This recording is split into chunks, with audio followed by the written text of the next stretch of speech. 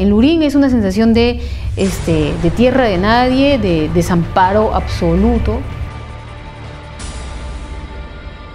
O sea, yo me puedo meter en la propiedad de quien sea, así sin mostrar nada, simplemente hablando, y no me dicen nada. ¿Cuánto dinero tú has invertido en ese terreno? 36 mil dólares.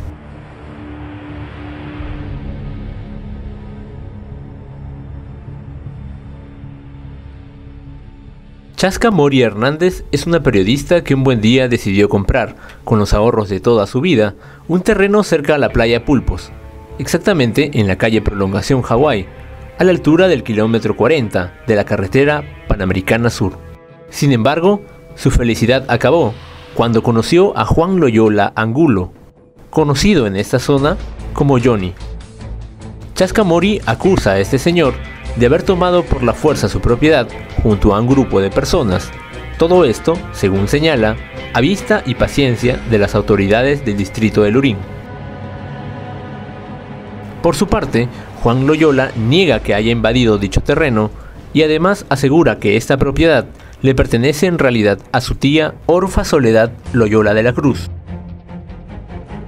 En los próximos minutos, conozca cómo, en medio de esta disputa, han aparecido extraños documentos emitidos por la municipalidad y la comisaría de la zona que parecieran ponerse a favor de una de las partes involucradas en este conflicto. Esta historia comienza el 9 de mayo. Aquella tarde, Chascamori recibió una llamada del vigilante de su terreno. Me llamó por la noche diciéndome que desde la tarde eh, de ese día eh, había un grupo de gente, un grupo de hombres que se habían metido a mi predio y se habían puesto a derribar con un cargador frontal, estaban derribando toda la pared este, del predio, rompiendo eh, la puerta y bueno, saqueando todo lo que había dentro, ¿no? Yo estaba acá al fondo con mis hijos, ellos estaban jugando y yo estaba lavando la ropa. Y escuchamos un ruido y salimos corriendo y, y vimos porque estaban tomando todo. Vino sus Mateo. Vino ese tal Johnny. Claro, y ¿Con cuántas personas más vino esa eran persona? 15 personas. 15. y encima que yo le ¿qué pasa, señor? Si este terreno pertenece a la señora Chasca, le digo, no, el terreno pertenece a la señora Soledad. Oye, me dijo. Así que todo está en regla, así que usted no se meta.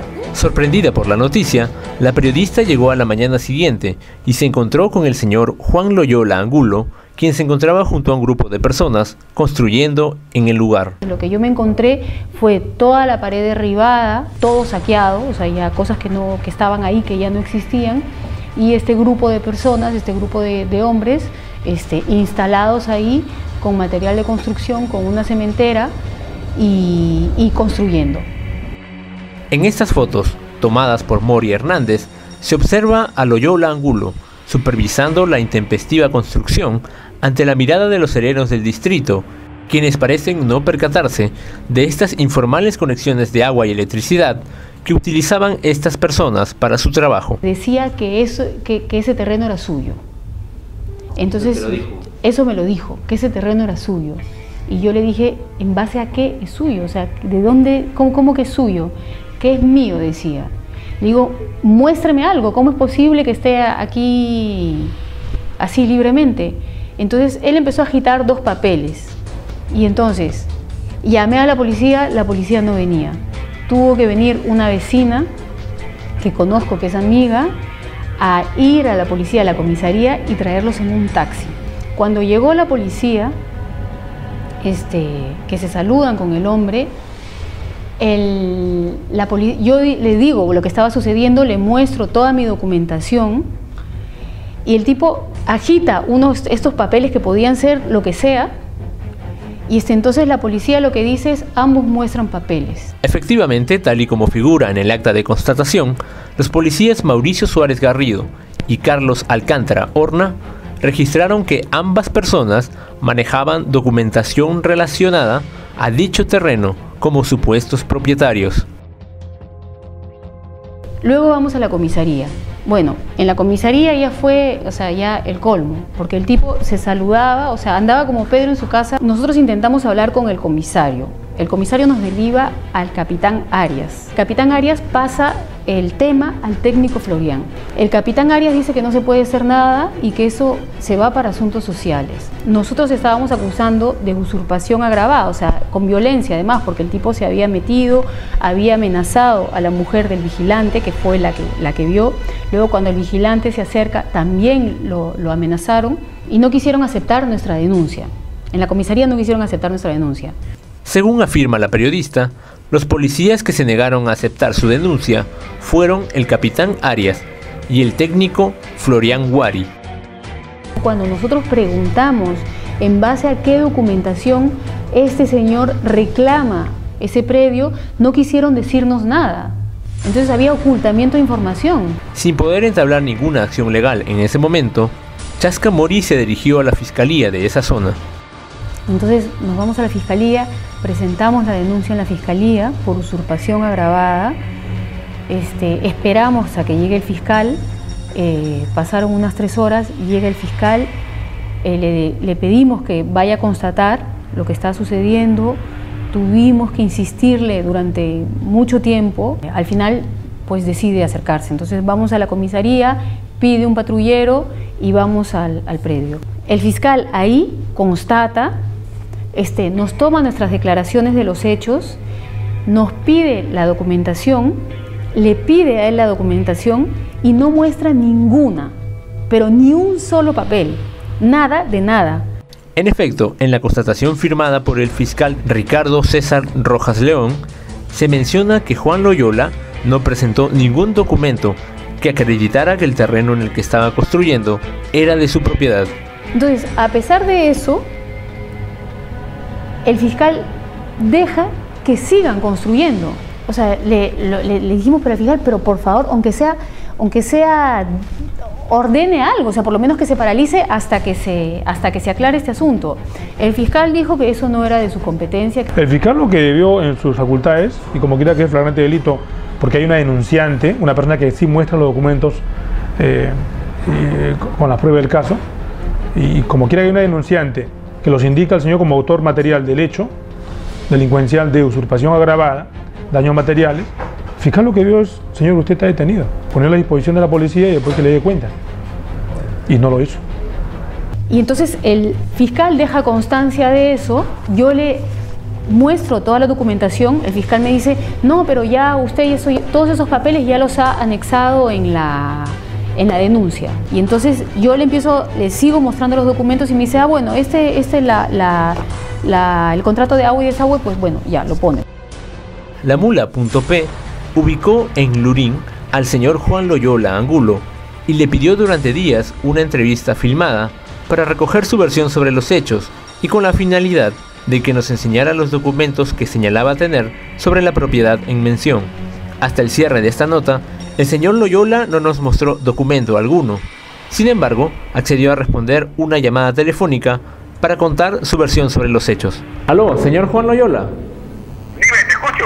¿Qué tal? Mire, este, usted quedó en llamarme para concertar una entrevista. este... no, no pude, está un poco delicado. Dime, te escucho. Este, mire, eh, bueno, no sé cuándo podríamos coordinar. ¿Podríamos coordinar por el día de mañana, en la mañana?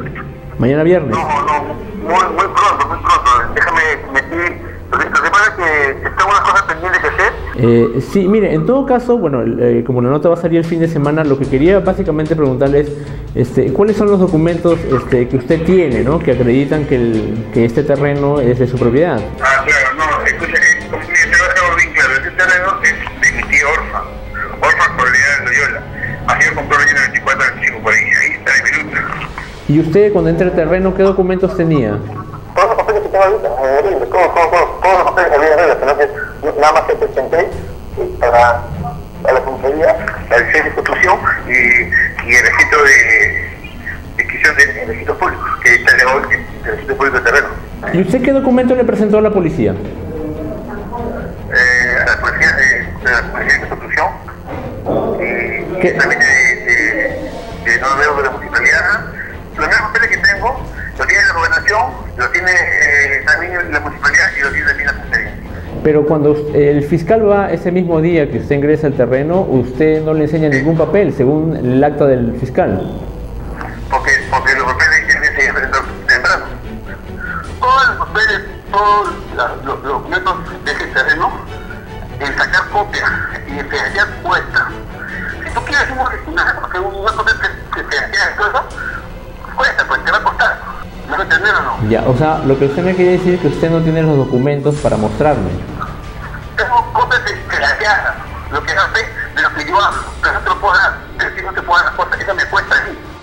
Juan Loyola ha señalado que el terreno en disputa pertenece a su tía Orfa Soledad Loyola de la Cruz.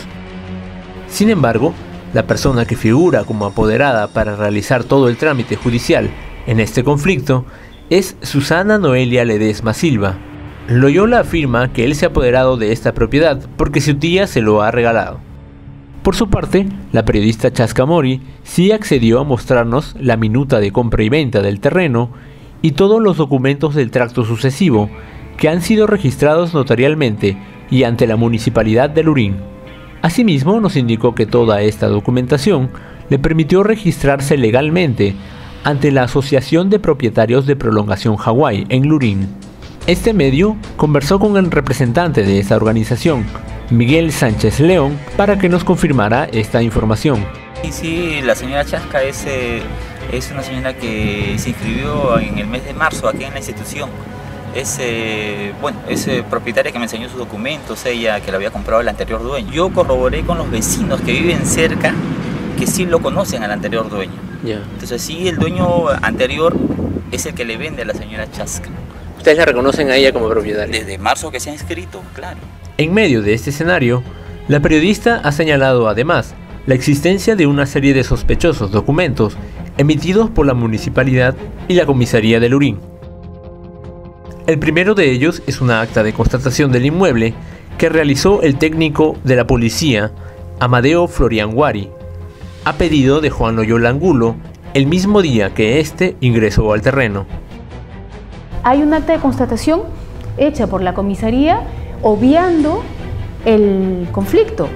Eso una hora y media después de la primera acta de constatación, ¿no? el día en que estos tipos se meten, en la que dice que por solicitud de Loyola Angulo, ellos se apersonan y observan que él está construyendo, que hay una cementera, que hay ladrillos, que hay unos hombres trabajando y que está construyendo en su predio esa, con, dirección tal y tal y tal.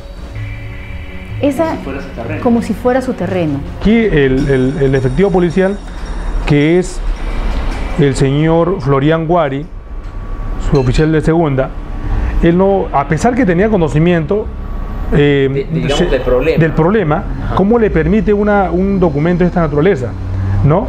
Eh, queriendo aparecer que está desprovisto de alguna controversia, cuando existe una controversia. Nosotros no sabíamos que existía esa hasta que nos damos cuenta que ellos están tramitando una constancia de posesión en la municipalidad y ellos ponen esa acta de la comisaría como prueba de que ese terreno es suyo. Tal como señala Chascamori, Luego de que Juan Loyola obtuviera de la comisaría esta sospechosa constatación policial, la señora Orfa Soledad Loyola de la Cruz solicitó al municipio de Lurín una constancia de posesión, es decir, un documento que acreditara que este terreno le pertenecía. Lo sorprendente en todo este asunto es que el técnico catastral del municipio, Wilber Adrián González Salazar, emitió un informe en el que confirma la vivencia por parte de familiares de Orfa Soledad en dicho terreno. Y en este documento señala que existe la vivencia por parte de familiares de la solicitante, asimismo se confirmó la vivencia mediante la firma de un vecino. Y este vecino, más que un vecino, es una vecina.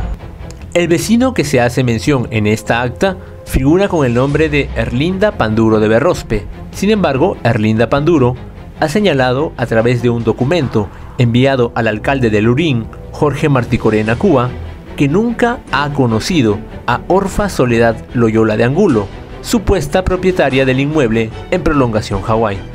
El día 4 de junio, Erlinda Panduro de Berrospe dice que habiendo tomado conocimiento del informe 7243-2012 presentado por Susana Noelia Ledesma Silva, en la que aparece mi nombre sobre una supuesta declaración de vivencia de Orfa Soledad Loyola de la Cruz, debo de indicar eh, que a dicha persona nunca la he conocido. Y me sorprende que mi firma aparezca en el expediente número tal. En tal sentido manifiesto a usted que hace unos días vino una persona quien dijo ser un verificador de negocios de la municipalidad y como quiera que tengo mi negocio, yo firmé como señal de que, de que efectivamente soy comerciante, pero que en ningún momento se me mencionó por, para ser testigo o dar fe de la vivencia de Orfa Soledad Loyola de la Cruz. En consecuencia, dejo constancia de mi aclaración y conforme al derecho que me asiste, denunciaré a aquellos que resulten responsables por el daño moral que me causa dicho informe suscrito por el bachiller de ingeniería Wilmer Adrián González Salazar. Se tira abajo el informe. En otras palabras, Erlinda Panduro habría sido engañada por un funcionario de la municipalidad para firmar un documento a favor de Juan Loyola. La mula.p intentó comunicarse con el funcionario municipal Adrián González en su oficina para que nos explicara el origen de este documento. Sin embargo, mandó a decir que no podía recibirnos. Asimismo, visitamos la comisaría de Lurín para recoger la versión del técnico de segunda, Florian Guari, pero tampoco quiso hablar con nosotros. Tras esta serie de irregularidades, Chasca Mori señala que debido a que Juan Loyola actualmente ocupa el terreno y ha conseguido estos sospechosos documentos de las autoridades, el organismo de formalización de la propiedad informal, COFOPRI, también podría jugar a su favor. Lo que está sucediendo ahora en esa zona, en prolongación Hawái, es que la, mayor parte de los predios y de las casas no tienen título de propiedad. Lo que existe es la posesión, ¿no? Entonces tú lo que compras es la transferencia de posesión. O sea, es decir, eh, yo se la compré al señor Alarcón, el señor Alarcón se la compró al señor tal y ese señor se la compró a la municipalidad. Entonces lo que hay es un tracto sucesivo, es decir, hay una historia del predio que se compra a la municipalidad que pasa de una mano a otra.